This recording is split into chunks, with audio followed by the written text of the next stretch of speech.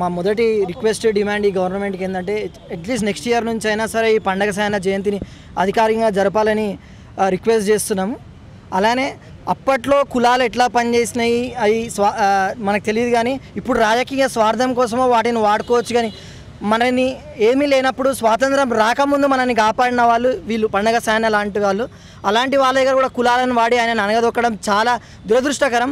At least మేము పర్సనల్గా request చేసుకుంటున్నాం ప్రతి ఒక్కరిని బీసీ లీడర్లను కానీ ఓసీ అగ్ర కులాలను కానీ ఈ ఒక్క విషయంలో వదిలేసి మా పండగ సాయన చరిత్రను వక్రీకరించకుండా ఆయనను బయటికి తీసుకొచ్చి ఆయన పేరు వింటేనే భయపడే పరిస్థితిలో ఉన్నారు. ఆయనను స్ఫూర్తిగా తీసుకొని ఆయన పేరు ఎక్కడ వినిపిస్తే అక్కడ అక్కడ మళ్ళీ అది స్టార్ట్ అయ్యి ఆ ముదిరాజ్ కులస్తులు కానీ బీసీ వాళ్ళు కానీ బయటకు వచ్చి ఎక్కడ అధికారం కోసం కొట్లాడతారో అన్న భయం ఇంకా వాళ్ళల్లో కనిపిస్తున్నట్టు వాళ్ళకు వాళ్ళకి అనిపిస్తుందని మనకు కనిపిస్తుంది బయటకి. అలానే ఇంకొక చిన్న మాట ఈ మధ్య మత్స్యకార కార్పొరేషన్ కానీ ఆ ఫిషరీస్ కార్పొరేషన్ చుట్టూ మన ముదిరాజ్ కార్పొరేషన్ కూడా గవర్నమెంట్ కాంగ్రెస్ గవర్నమెంట్ ఏర్పాటు చేసింది. దా దానికి ధన్యవాదాలు. కానీ ఎర్రలను వేసి చేపల్ని పట్టండి కానీ చేపల్ని ఎరగేసి ముదిరాజులను దాటి చుట్టూ తిప్పడానికి ప్రయత్నించకండి. ముదిరాజులు అంటే కేవలం చేపల దగ్గరనే కాదు ఇంకా చాలా ఉన్నాయి. మాకు చదువుకోవడానికి అవకాశాలు ఇప్పించండి. ఇంకా పదవిలో కానీ మంచి స్థానాల్లో ఉండేలాగా చూడాలని రిక్వెస్ట్ చేస్తున్నాను.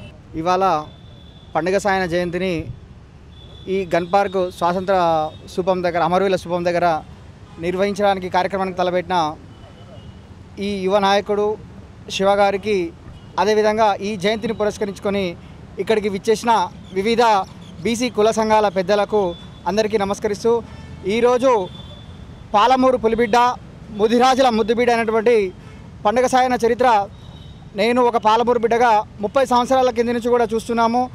అది పన్నెండు మెట్ల కిన్నెర పైన ఒక ఎంటర్టైన్మెంట్గానే మేము విన్నాం కా కా తర్వాత ఆయన చరిత్రని ఎక్కడ ఒక సినిమా రూపంలో కానీ ఒక పాఠ్య పుస్తకాలలో కానీ ఎక్కడ చదివింది లేదు. ఇప్పుడిప్పుడే ఈ యువతరం అంతా ముందుకు వచ్చేసి ఆయన చరిత్రను వెగిదీసే ప్రయత్నంలో అందులో అగ్రగామిగా మా శివగారు నందుకు ఆయనకు ధన్యవాదాలు తెలియజేస్తున్నాను. ఇదే కాకుండా మా పాలమూరు జిల్లాకు ఆయన పేరును ప్రకటించాలి. అదేవిధంగా ఎన్ఎం శ్రీనివాసరెడ్డి గారు ఆయన వర్ధంతిలో విగ్రహావిష్కరణకు వచ్చినప్పుడు మండెంకొండ ప్రాంగణంలో ఒక ఎకరా స్థలం కేటాయించి ఆయన ఒక ఉద్యానవనాన్ని నిర్మిస్తానని మాటిచ్చారు.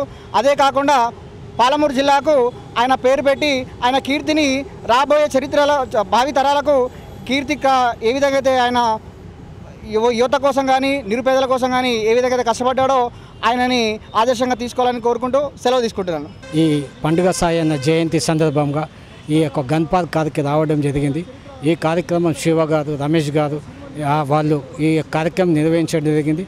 యువకులకు ప్రత్యేక ధన్యవాదాలు. ఎందుకంటే పండుగ సాయన్న ఆయన ఒక వీరుడు. ఒక వీరుడే కాకుండా పేదలకు ఎంతో క- ఎంతో విధంగా అన్ని విధాల సహాయ సహకారాలు అందించిన వ్యక్తి పండుగ సాయన పండుగ సాయన్న ఉన్న వాళ్ళను కొట్టిండు పేదవాళ్ళకు పెట్టిండు. ఆయన ఒక బలశాలి. అటువంటి మహానుభావుడు ఇలా తెలంగాణలో పుట్టడమే మహా అదృష్టంగా భావిస్తాం ముదిరాజ్ జాతిలో. ఎందుకంటే ఇవాళ ముదిరాజ్ జాతిలో పండుగ సాయన్న ఎంతో పేరు సంపాదించిండు. ఎంతో అతని పేరు మీద ఇవాళ పెద్ద పండుగ కూడా ఒక జాతర ఏర్పాటు చేయడం జరిగింది. కనుక పండుగ సాయన్న గారిది విగ్రహాన్ని హైదరాబాద్ నగరంలో నడిబొట్టున విగ్రహాన్ని ఏర్పాటు చేయాలని ప్రభుత్వం డిమాండ్ చేస్తున్నాం. అదేవిధంగా పండుగ సాయి అనే పేరు మీద ఒక పాఠ్యపుస్తకంలో ఆయన చరిత్రను ప్రచురించవలసిందిగా కోరుచున్నాం.